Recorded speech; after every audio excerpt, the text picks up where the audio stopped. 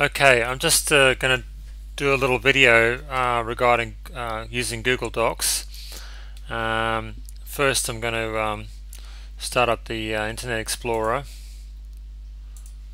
It should be around here somewhere. Okay, I'm running um, Google Chrome, but um, also another good program to use is Firefox. Uh, I have noticed that some there are sometimes you get a little few problems using um, Internet Explorer. And also sometimes you make you, when you open Google Docs you may get some language problem um, and if that does come up I'll help you with that. So you see I've got a link straight away to Google Docs which is very convenient but you can go another way uh, if you go to the CQ homepage which apparently has moved uh, we'll just go up here staff portal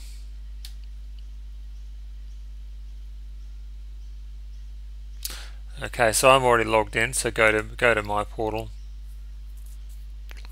Um, and down here, you scroll down, you can see CQ University Docs powered by Google. And you click on that. And um, as I said, I've already logged in, but if, if you weren't logged in, you would just type in your work uh, login details to get into here. As you can see, I've got a lot of documents already uploaded. This is the home uh, display which lists all the documents. Uh, it is useful to organize your documents uh, into folders. These are the folder names that I've created. Um, to create a folder is uh, pretty simple. You just go create new and they don't call them folder, they call them collections. So you can just say new collection, give it a name like um, test and okay and that folder's there. Now you can upload uh, documents to your test folder. Just press upload. Uh, you can upload a folder or a file. So this is the work folder I've got at the moment on my my desktop, my documents 2011 December.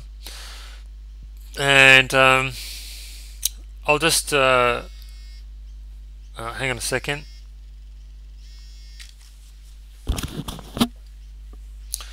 Okay, so we hopefully are recording in. Yep. Now, so I'm going to upload a document. I've got lots of different ones here. Uh, we'll just try with uh, just a normal spreadsheet first.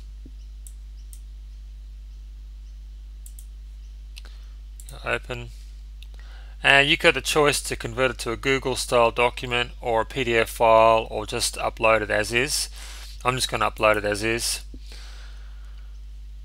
And should be doing that. There it is there now usually you can click on these files and it will give you a preview. Sometimes you'll even be able to edit these files.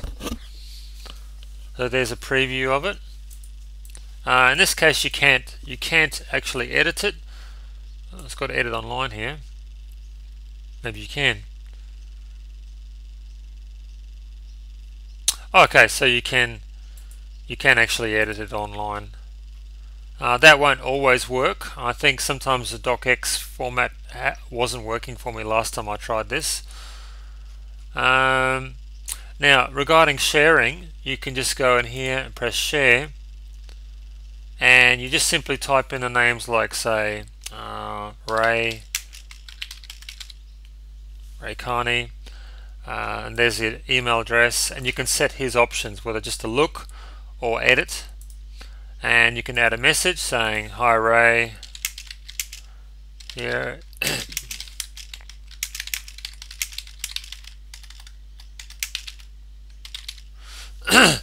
and you go share and save. And click that and it will send him an email and give him the link to that file.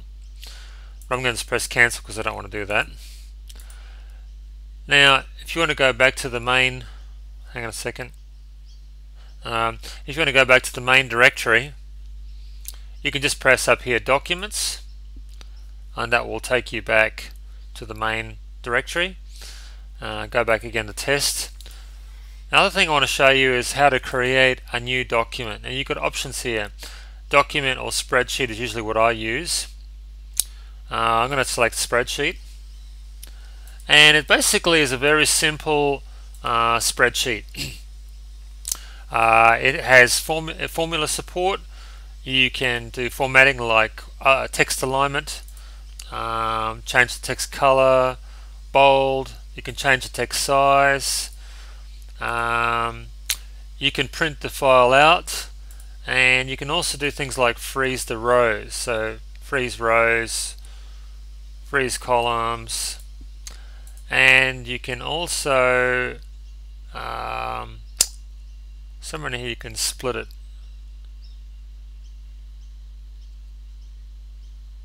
Uh, view. Oh that's freeze rows which I just told you about.